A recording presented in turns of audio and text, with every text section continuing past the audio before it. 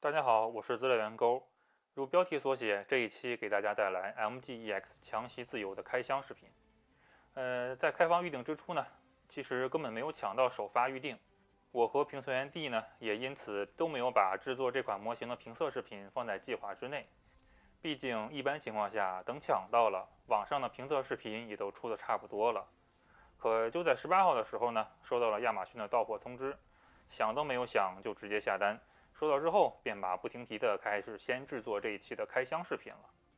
当大家看到这期视频的时候，模型应该已经在发回国内的途中。呃，近期呢，会由我们的评测员 D 给大家带来具体的机体评测视频，请关注骄傲季频道的小伙伴们再稍微的耐心等待一下。好，我们言归正传，接下来仔细看一看这款 MGEX 强袭自由。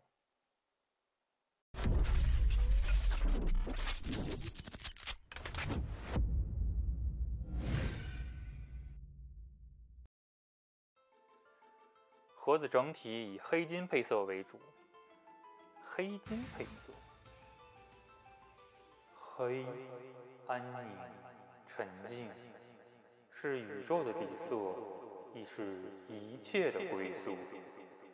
金，明媚，神圣，绚丽辉煌，是人类至高无上的色彩。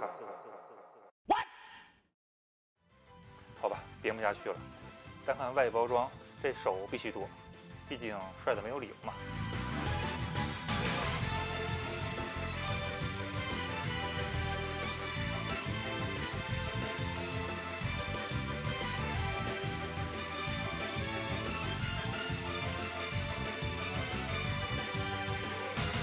打开后，我大概数了一下，不含地台，大小板件总共二十片左右，嗯，属于 MG 的正常水平。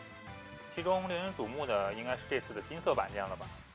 大概呢，一共有四种金色，其中的 B 板件呢是黄金色，C 板件呢是古铜色，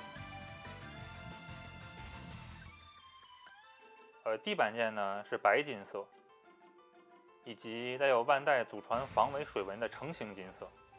不过呢，这次成型金色的零件呢并不大，因此呢水纹也不会显得太明显。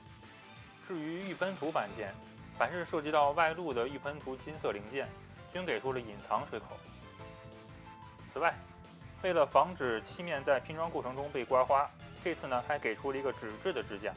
那仅凭这一细节，可以给万代一个赞。至于其他板件，一如既往地延续了万代的品质，这里呢就不过多描述了。除去地台以及光束军刀特效件之外，均为新规板件。而且手部零件不仅给出了造型手，还有一对一体成型的五指可动手。嗯，PGU 你怎么就不能也给一对呢？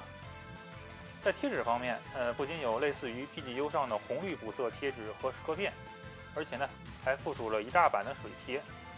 拼装完成之后呢，可以根据个人喜好再补充一些细节。最后再来看看说明书。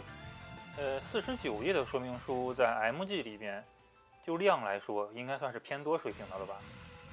说明书的开头呢，是这款模型的外观以及内骨骼的介绍、板件数量、注意事项等等。中间的彩页呢，是可动性、联动以及武器的介绍。最后面的彩页是机体、人设说明。各部位颜色列表和武器的细节展示说明。呃，在这里值得注意的是，在说明书上的拼装流程页上可以看到类似于 PGU 的分段式拼装介绍。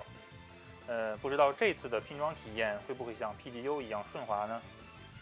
如果有已经拼装完的小伙伴，欢迎在评论区里分享一下自己的拼装感受。好了，简单的开箱呢就到这里。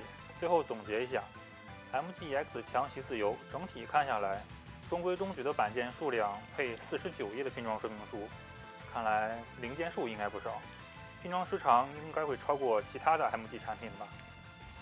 预涂装板件上外露的零件均采用隐藏水口，但水口偏小，后期处理起来可能会有些麻烦。呃，补色贴纸、蚀刻片以及拼装流程的优化，处处可以看到 PGU 的影子。